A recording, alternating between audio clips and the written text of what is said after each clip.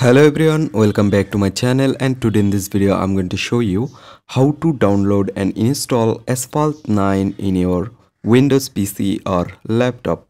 So let's begin our video. So first of all you just need to connect the internet to your PC and then you just simply click on Microsoft Store and right now here you can see it's loading and you just need to wait for a few moments for open it. So it's, it's still loading. And after open it just scroll down. And here you can see asphalt 9 is here. If you don't find here just simply go to search bar and type 9 and search it.